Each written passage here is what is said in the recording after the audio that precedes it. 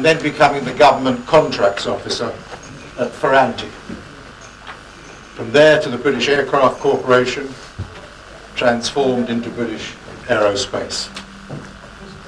He had major jobs in British Aerospace relating to sales and to exports, but throughout that formative stage of his career when he established his reputation, the emphasis was on international cooperation hear him talk about managing innovation for.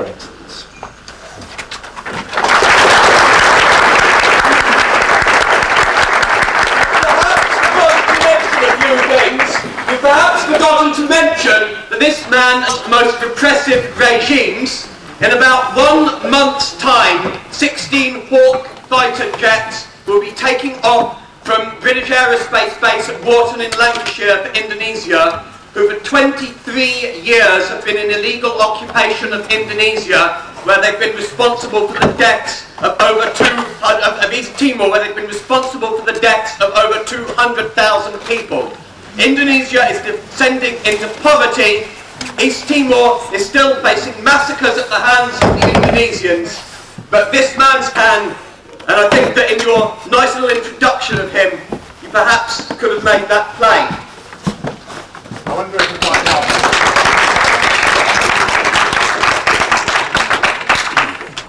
Uh, have you have you finished now?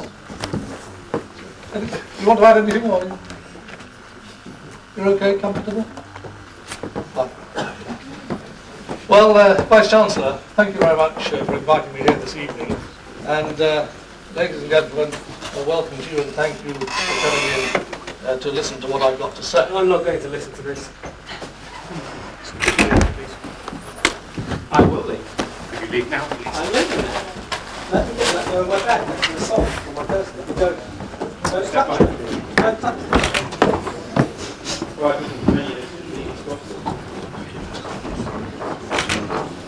Do you have a message for the families of the thousands of people who've been killed by your brother? Do you have a message? I have got, uh, I've got a lecture here to give you this evening, which I'm uh, patiently waiting to begin upon. Yeah.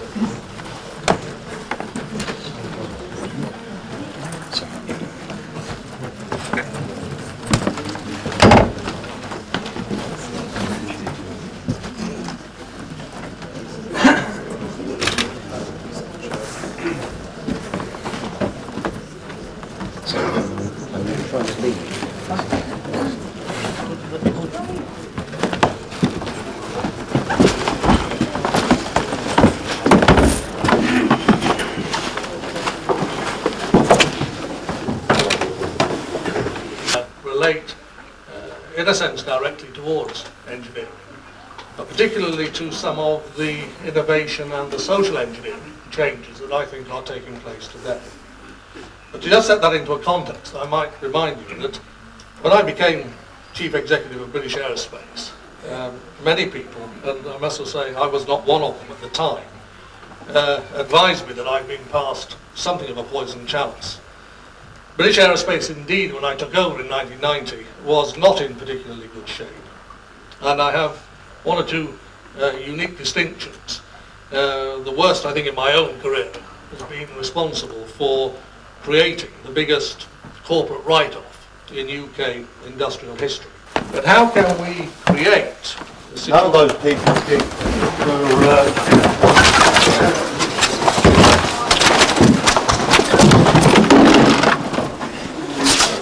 But how can we create a culture where people are thinking you're ahead of your makes deal with time? The Turkish regime. The Turkish regime routinely torture and kill children and Kurdish civilians. You make deals with these people. And I'm very interested to read here that you've been elected as an honorary member of the NFPCC. How does that compromise your position just a little bit, Mr. Evans? Would you like to answer that? Well, I'm not here to answer your questions, I'm here to deliver a lecture. If And you'd be, if you'd be kind enough to let me your, do that, um, in your instead of in your interrupting, they could all actually get off in the evening. Today, you have made deals with the likes of Saddam Hussein, the likes of President Suharto, the likes of General Pinochet. Um, is this something you're proud of? I'd like an answer. I think we'd all like an answer to that.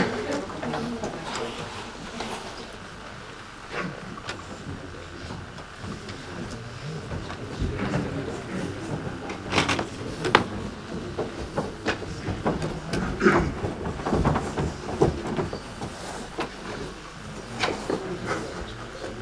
In order to be successful and and introduce an innovative culture,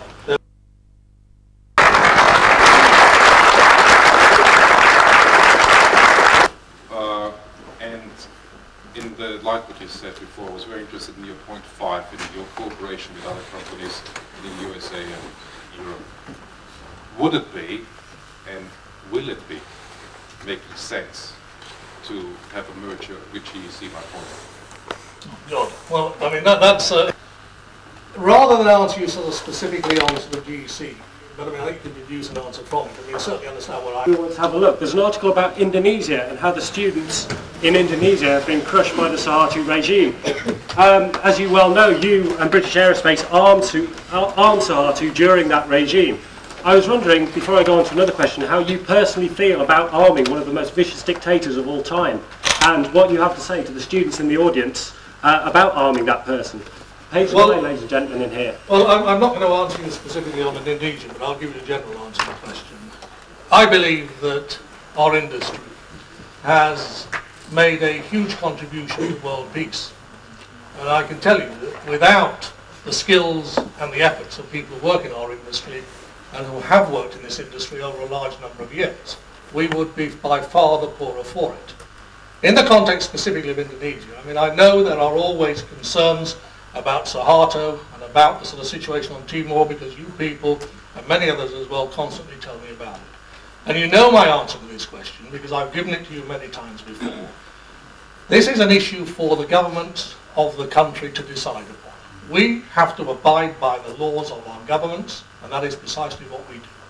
Could, could you from them then? At an annual general, at an annual general meeting, please don't silence me, I have a right to speak. At an annual general meeting, a few years ago, British Aerospace's Don McLean, who you know well, said to uh, a supporter of Campaign Against Arms Trade, sometimes in this game you have to leave your conscience at the door.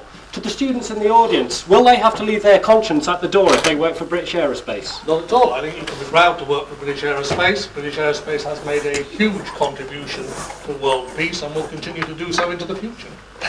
So, in terms of Turkey, Indonesia, Saudi Arabia, arming Do Iraq, think, do, you think, do you think you could give somebody else a chance? I mean, I think I must you've had ask two somebody else a You've had two questions. Professor Smith. I ask you people, do not let this man, do not let this man arm, arm the oppressive regimes all over the world anymore. Ask questions, do not be silent, do not let his big bodyguards rustle you out of the door to try to make points about human rights, ladies and gentlemen. Do, do you, sir, would you like to, would you like say something, or do you two let more Anybody who has not left their conscience at the door, please leave with me now as these bouncers rustle me out because they're not allowing me to speak. Anybody here who wants to leave with me? If not, leave your consciences at the door and work for this man.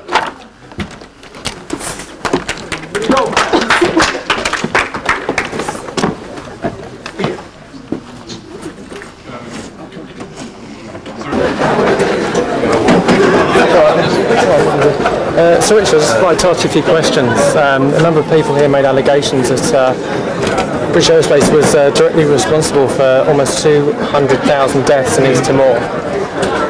Well, I, I haven't come here to sort of answer questions on Timor. I've come here Right. to deliver a paper which I've done, and I'm pleased to say I'm now departing. Does British Aerospace have an ethical uh, policy? Uh, you know the answer to that question? No, I don't. I've You- never asked it before. Okay, well, come to the AGM and ask it. Well, I'm asking you it now. It's a very simple question. I'm not asking. I'm not asking you any questions to you at the moment. Do, do, you, do you have an ethical policy? Excuse me, uh, Sir Richard, do you have an ethical policy in British Aerospace? This is totally unacceptable. Well, well no, it's, it's a very fair question. Excuse me. Excuse me, don't. Uh, yeah, I'd just, just like to ask you the question again, because I've asked it several times, you refuse to answer it. No, I've answered it many times for you in the past. Not to me, you haven't, no. Uh, well, come along to the AGM and ask it. I'm asking you buy now, some, buy some shares. Buy some shares I've- and come I've to the got company. shares in. Well, you're entitled to ask the question. I'm the asking you the question now. Does British And I'm Aerospace not- have a- an ethical fo- foreign policy? I've, I've, I've given you the answers that I'm sure you want. Right. Uh, excuse me, don't touch me, that's assault. Thank you. Okay, so Richard, I'll ask the question for uh, probably the tenth time. It's a very simple question. It's a yes or no answer. Does British Aerospace uh, have an ethical foreign pol- policy? I'll come and left now.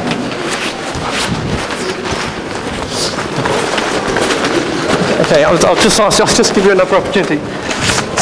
Don't touch me. That's. Don't touch me. That's assault.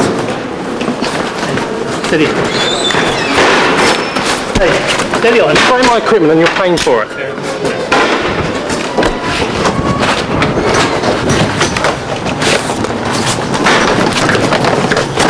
Hey, steady on. Yes. Hey, Take it that's easy. assault.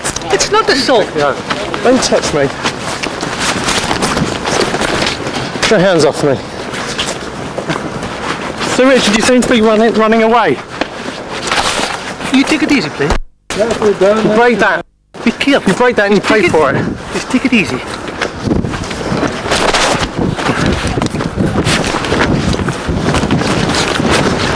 So Richard, you seem to be running away. So, excuse me, sir. Is there anything you're trying to hide at all? Excuse me, sir. Okay. Don't touch me. Excuse me, sir. Don't touch me. Excuse me, sir.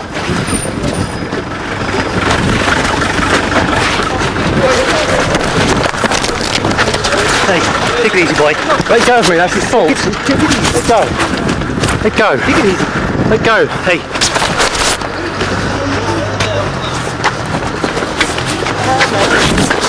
Do you mind?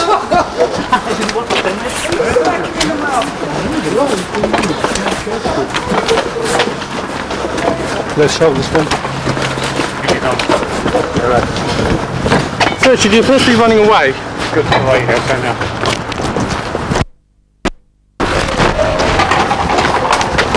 Don't assault me, okay? You've got no right to do that.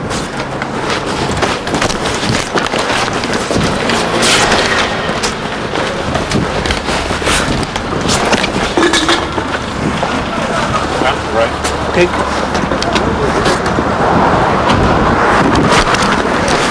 Let go of me. I'm not touching anybody. You're holding me.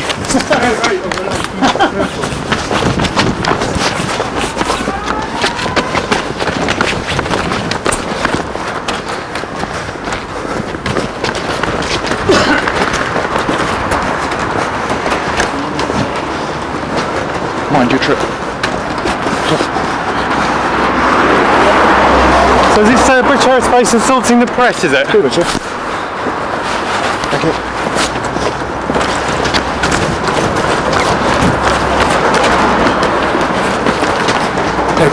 Would you not come into the university premises, please? Excuse me. This way, mate. This way. Excuse me, my leg's caught in the door. Come on. Can you please stop this? No, you're not welcome in here. Oh, I've got a badge, I've been invited here. You're not into this building, you haven't. Come on, let's move. Take him. Take him out. Wait, wait, wait, come on. You're Wait, wait, obstructing the this, fire. this, this is not okay. This is not okay. Come on. Thank you.